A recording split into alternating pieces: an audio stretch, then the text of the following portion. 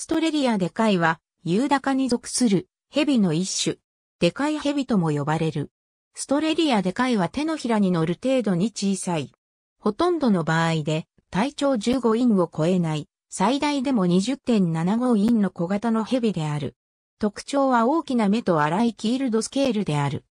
鱗の色は、背中側が全体的に茶色、腹の側がピンクがかった白色であるが、脊椎にあたる部分は直線上にやや灰色がかった色をしており、側面には黒い点が連続的に並んでいる。一般にオスとメスの区別はしがたいが、オスの方が若干語が長い傾向にある。若い個体は3.5インと小型で、色は黒や濃い灰色をしている。時々、首の部分に灰色がかった白色の感があり、その特徴から、リング、ネックスネークと呼称されるダイアダフィスプンクタトゥスと混同されることがあるが、キールドスケールが異なる。ただし、これらの特徴は、それぞれの生息地における亜種の間でやや異なる。いわゆる北米地域である、アメリカ合衆国、カナダ、メキシコ、ホンジュラス、グアテマラに分布している。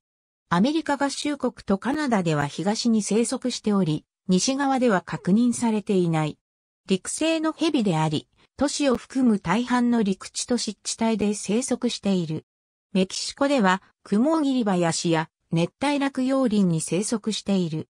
その数は非常に莫大であり、個体群や種群の数は安定していて、絶滅は心配されていない。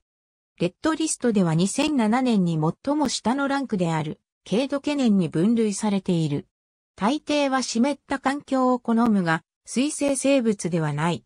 大抵は砂や岩、丸太の下におり、フロリダ州ではしばしばホテイアオイの下に生息している。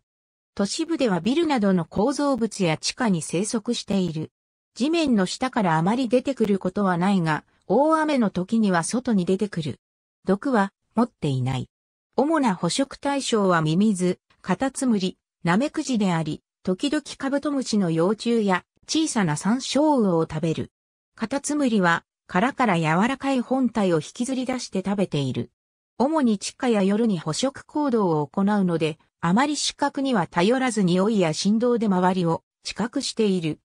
逆に、ストレリアデカイを捕食対象としているのは、大型のヘビ、カエル、トガリネズミ、イタチ、猫、アオカゲス、アメリカガラス、タカであり、それら捕食者の重要な食料源となっている。ストレリアデカイが捕食者に遭遇した時は頭を持ち上げて自らを大きな動物であると威嚇したり、排泄空から悪臭を放って撃退する行動をとる。死有ともに誕生から2年程度で生成熟する。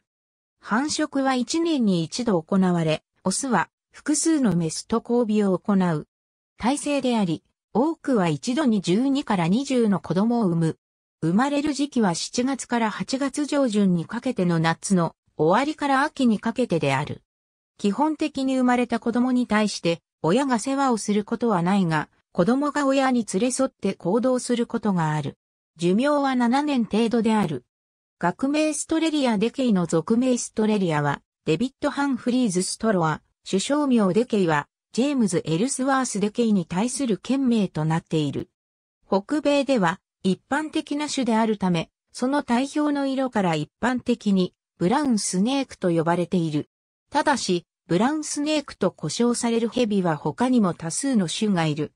また、首相名にちなみデケイ、エススネークとも呼ばれる。正式な名は決定しておらず、一部の一般向け書籍では、でかい蛇と呼称されているが、これは、デカイの五感が与えるイメージと実際の大きさのギャップを示した文脈で扱われている。ありがとうございます。